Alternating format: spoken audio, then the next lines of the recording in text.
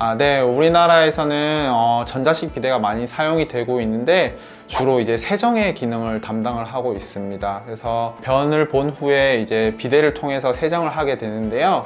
주로 저희가 이제 좌욕을 하라고 말씀을 드리는 거는 이제 항문을 이제 따뜻한 물에 담금으로써 항문 이제 괄약근의 이완을 이제 하게 함으로써 긴장을 풀어주고 통증이나 붓기를 이제 좀 더 줄여줄 수 있는 목적으로 좌욕을 사용을 하게 됩니다.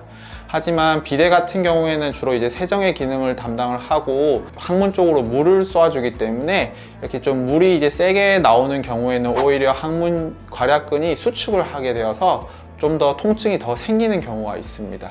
그래서 일반적으로 말을 했을 때는 비데가 좌욕의 기능을 대체를 할 수 있다는 말은 어, 좀 맞지 않는 말이라고 볼 수 있습니다. 비데를 사용하는 경우에는 수압을 좀 낮춰서 아무래도 항문에 좀 덜 자극이 가도록 하는 게 좋겠고요.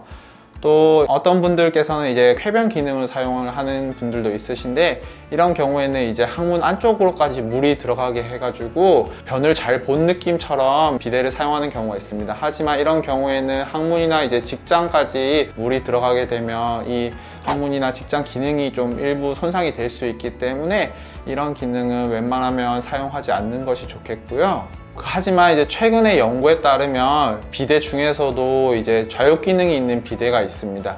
이런 경우에는 이제 수술 후에 어, 좌욕을 하는 것과 이 좌욕 기능이 있는 비대를 사용을 했을 때 효과가 비슷하다. 그래서 좌욕을 대체할 수 있다고 또 연구가 발표가 돼서 비대 중에서도 좌욕 기능이 있는 비대를 사용하는 경우에는 좌욕에 좀 더 도움이 될 수 있겠습니다.